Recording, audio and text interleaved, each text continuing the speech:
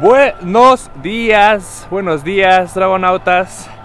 El día de hoy me encuentro en Teotihuacán y vamos a agregarle un nuevo capítulo a, a esta saga de, de qué hacer en la Ciudad de México, eh, estos videos que, que, he hecho.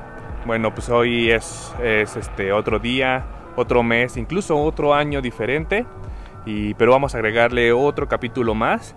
El día de hoy es muy temprano y vamos a hacer un recorrido por las afueras de Teotihuacán, pero lo principal va a ser que vamos a hacer un vuelo en globo.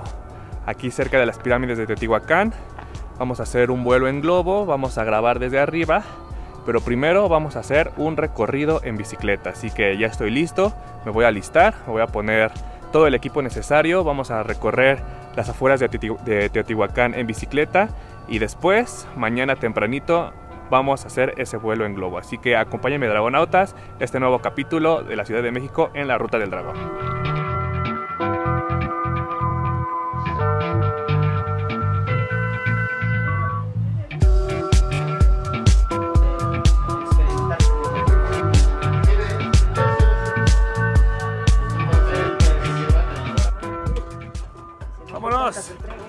De darle a la bicicleteada. Vámonos Miguel, vámonos.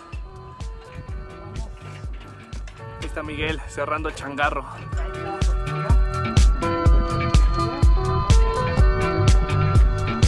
Vámonos.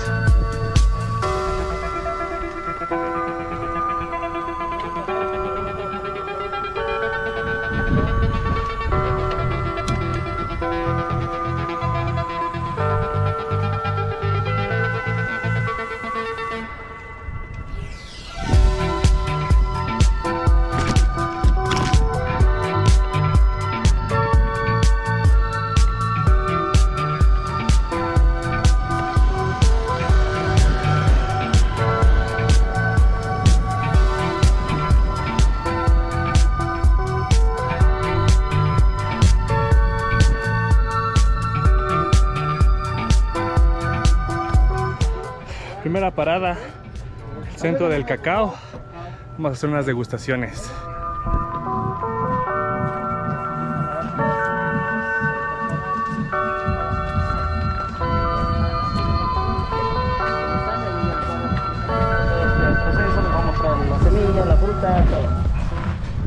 De ahí, bueno, va hasta ser 5 años de maduro de nuestro árbol de cacao que nos va a empezar a dar la mejor calidad de su fruto, la mazorca de cacao. Estas mazorcas, chicos, llegan a crecer hasta 25 centímetros de largo. Y en su interior vamos a encontrar de 30 a 50 semillitas, ¿vale? Más o menos así, chicos, ¿vale?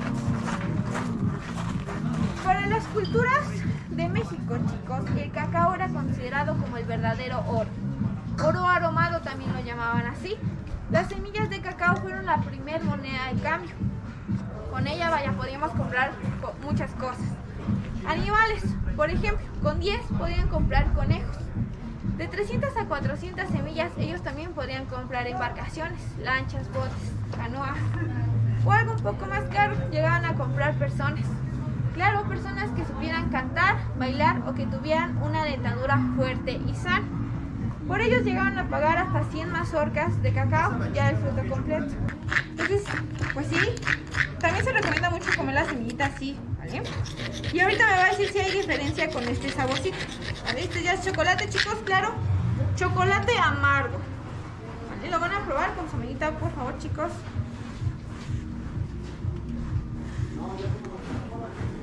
Y tanto de piel. Este es el que nos va a ayudar a reducir el riesgo de padecer pero claro, para los que somos un amantes de algo dulcecito, nosotros también elaboramos chocolates que están mezclados con azúcar, sí, pero azúcares naturales, chicos. Piloncillo, canela y toques de miel van a hacer que este sabor amargo salga un poco más dulce, ¿vale? Como el siguiente chocolate que van a degustar, chicos. Chocolate semi amargo, ¿vale? 80% cacao, 20% estas azúcares naturales y ustedes me van a decir si hay diferencia o no. Pero hay otro chocolate muy particular del centro del México. Les gustaba mucho mezclarlo con especias. Una de ellas era el chile. Chocolate con chile, chicos. ¿En serio? Este lo van a degustar. Está bastante bueno, chicos. No les va a picar. Porque, bueno, porque solamente tiene un 10% chile de árbol. ¿Vale? 10% azúcares naturales, 80% cacao. No van a sentir al instante la presencia de la especie. Va a ser mucho después. Ligeras cosquillitas en su garganta. No sé si llegaron a percibirlo un poquito.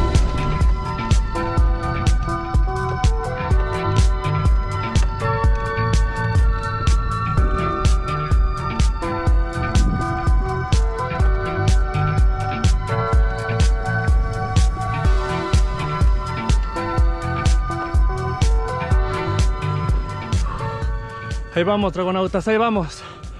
Oigan, esto está muy, muy entretenido. Haces mucha pierna, está, está divertido. Nuestra siguiente parada va a ser... Oh, esperen, esperen. Listo.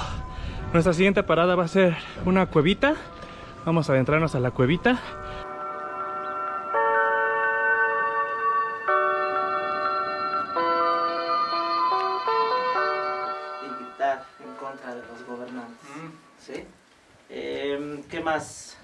El, al lugar que vamos a ver es un observatorio para saber la época de sequía, la época de lluvia y todo esto. ¿Sale? Eso es lo que vamos a ver. Este, traen casco, eso ayuda mucho. Pueden ver que hay piedras muy filosas. Entonces, para que no se regresen con su alcancía. Sí. Aquí hay muchas historias, ¿no? Que, que la gente antes de la llegada de los españoles se dice que convivían con otras civilizaciones debajo de la tierra. Pero una vez que llegan los españoles, como que estos portales se cierran. ¿Por qué? Porque los españoles con esa ambición o esas ganas de, de decir, ah, bueno, voy a encontrar algo que me haga poderoso. Bueno, acá hay una piedra muy grande, saliente, van a tener cuidado con la espalda y la cabeza nuevamente, ¿sale? Hola.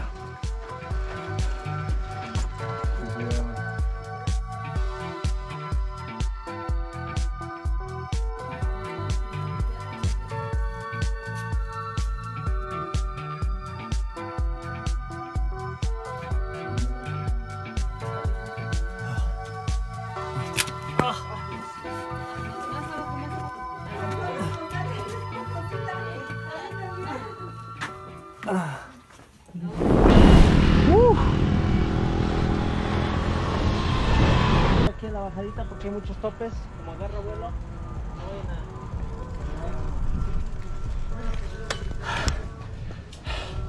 a- Ahí vamos. Ahí vamos, equipo. Uh. Ah, ahorita vamos a probar. ¿Sí? Y esto, esto es lo mismo, pero ya no En la tercera parada llegamos a un lugar donde trabajan el choconostle de forma gourmet. Lo probamos en salsas, mermeladas, en forma de dulce y gomitas y hasta en mezcal y licor. Y luego eh, tenemos la macha, que en este caso chocolate, eh, ajonjolí, cacahuate, chiles secos. Y entonces si yo por vender les digo que va a durar un año, Me pues gustó no. más esta. ¿Ah? No, no, definitivo, el sabor es... Para el- Ah, no, Porque ustedes. nuestro trabajo principal es la obsidiana, entonces no nos daría tiempo para querer abarcar todo. Y Salud, ahorita, pues, dragonautas. estamos trabajando ahí juntos, con pegados. Sí, no, también. A ver, ahorita está Sí huele a alcoholito, ¿eh? frío, frío. Pero el trabajo principal de estos artesanos es la obsidiana. Trabajos desde el corte de la obsidiana virgen hasta realizar hermosos adornos, dijes, anillos, collares e incluso trabajos grandes como relojes, molcajetes o macetas.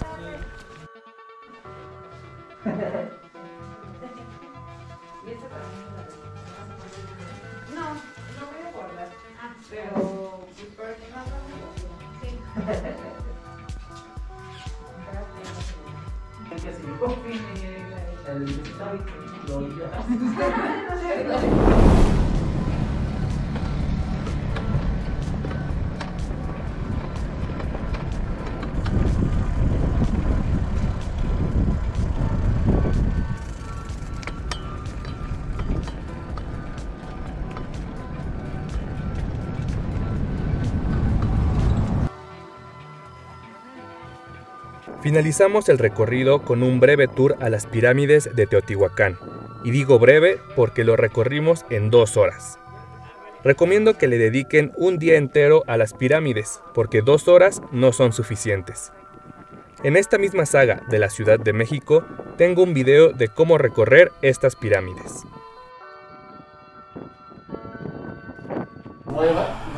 Vamos terminando el recorrido en bici, fueron aproximadamente como 6 horas de, de trayecto, estuvo muy bueno. De hecho, hay varios tours que pueden venir a hacer. Eh, vengan, pregunten, hay muchos lugares que pueden visitar, llevarse sus recuerdos pero les recomiendo mucho Teotihuacán en bici. Hay muchísimos, muchísimos lugares diferentes a las pirámides que pueden visitar. Amigo Miguel, muchas gracias por todo, ya nos despedimos.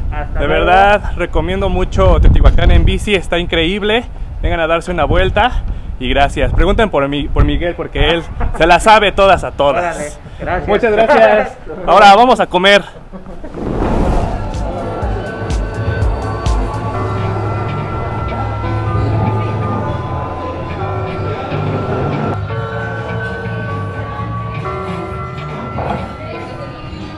Dragonautas, la comida es buffet.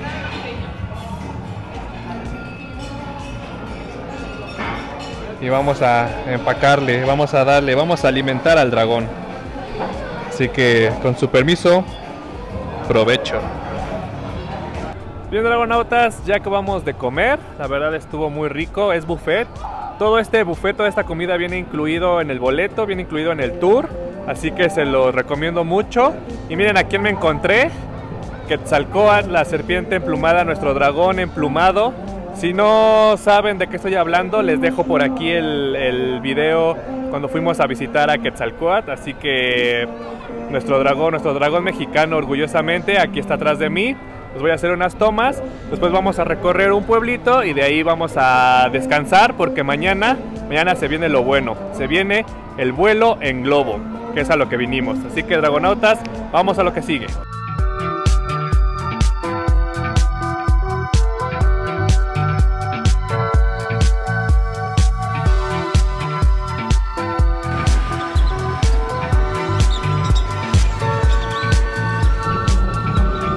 Oigan dragonautas, ya llegué a, a San Juan Teotihuacán. Este es un este, en el 2018 fue nombrado Pueblo Mágico. Eh, pues está muy chiquito la verdad, solo tiene su placita, su centro, algunas tiendas alrededor y restaurancitos, unos bares. La verdad está muy chiquito, se ve bastante rápido. Así que voy a cenar algo, voy a entrar a algunas tiendas y después ya me voy a descansar porque mañana tempranito es el gran día. Así que vámonos.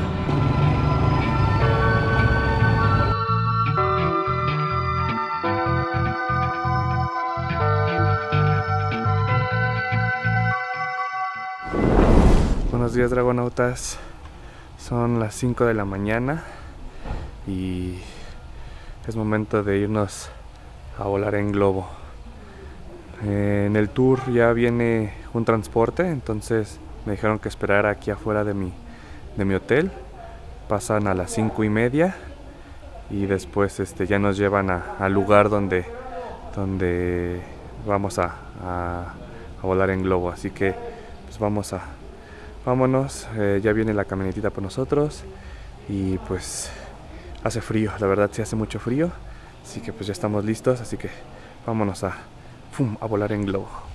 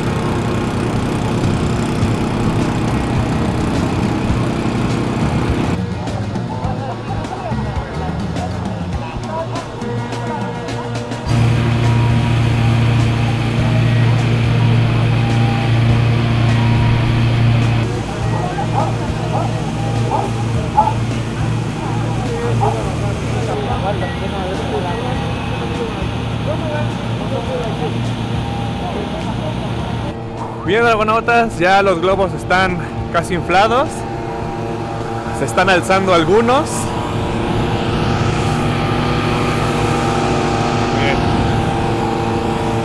Entonces ya nos, ya nos asignaron un globo y pues ya solo falta subirnos y emprender el vuelo. Va a estar divertido.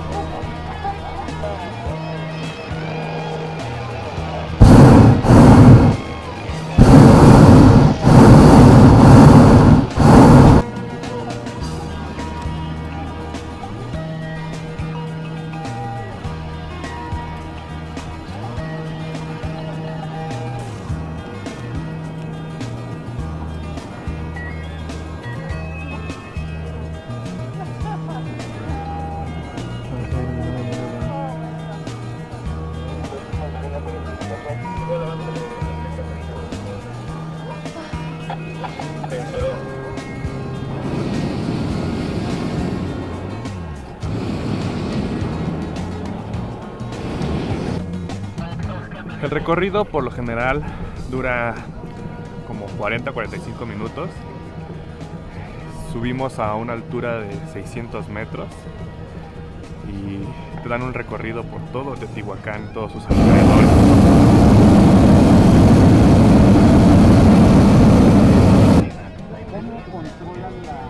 Está increíble, está muy bueno.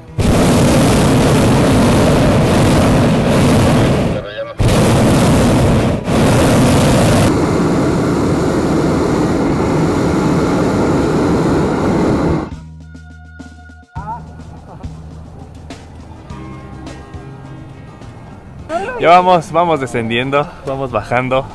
Llegamos a un punto máximo de 600 metros y ya vamos, vamos para abajo.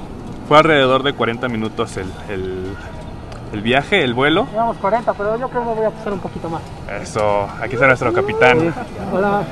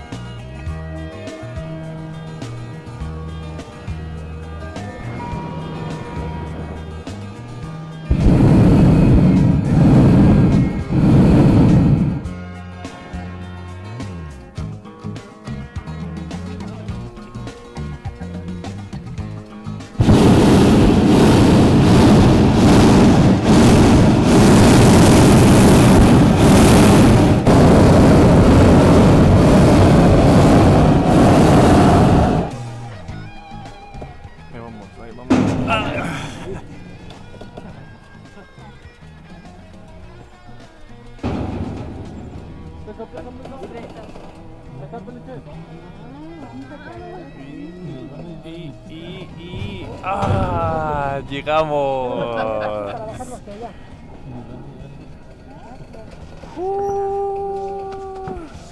¡Felicidades! ¡Bravo!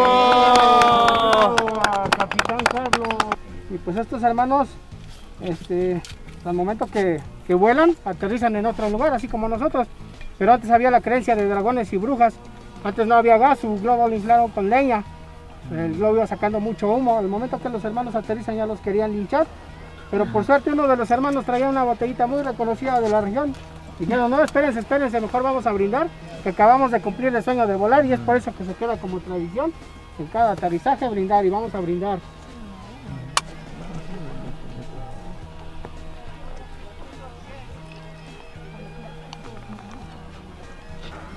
Salud, salud. Muchas felicidades por su vuelo. Salud, salud, salud. Muchas gracias, capitán. Nada, salud.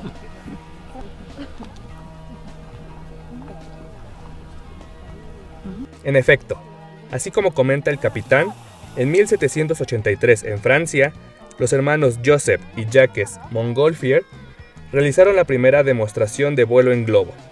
En esa época, la iglesia esparcía historias y leyendas de dragones malignos volando por toda Europa.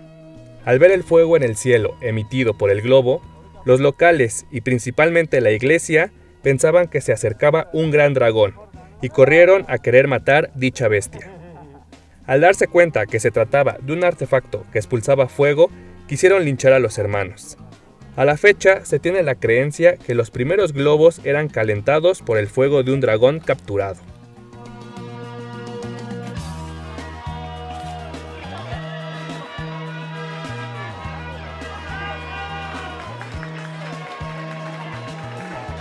Acabamos, acabamos nuestro recorrido en globo, la verdad estuvo muy padre. Les recomiendo la, la empresa Volare, muy buena, tiene muchas, muchas historias arriba de los globos y te tratan de maravilla. Incluso hasta te dan tu, tu certificado de vuelo. Ya tenemos certificado y pues ya nos vamos de aquí, estuvo muy padrísimo. Y pues aquí nos despedimos. Espero les haya gustado el video. Muchas gracias a todos los que vieron este video. Recuerden que los dragones siempre buscan nuevos horizontes y nos vemos en un próximo video de la Ruta del Dragón. Hasta la próxima, Dragonautas.